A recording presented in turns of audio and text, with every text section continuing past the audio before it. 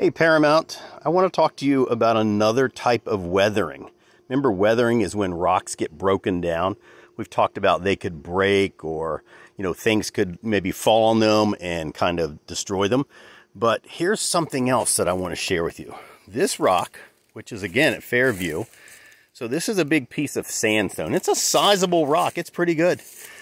But some of you may have seen this stuff growing on rocks near you or maybe growing on trees near you. This stuff is called lichen, and it's actually alive. It's a mixture of both fungus and algae. And lichen, as it attaches itself and it grows on things like rocks or trees, it's just going to keep growing. But because it's living, it produces waste material. And so when lichen is growing, how it how it releases its waste is in a form of kind of like a, a liquidy substance. And that liquidy substance is actually a chemical. And it's a chemical that's a weak acid. And if you think about acids, what they do, they can burn things and they can destroy things. Well, that's kind of what's happening to the rock.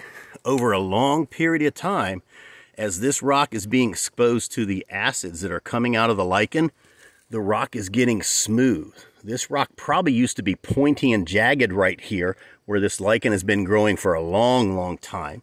And so it's being weathered by the lichen. So chemicals can actually break down rocks as well. And so when I showed you earlier and I mentioned the other rock that was being broken down by rain, that's also because our rains around here sometimes can contain a weak acid as well. It's not going to burn you or hurt you, but it is slightly acidic and over time it starts to break down our rocks. So just another way to think about weathering. Cool, right?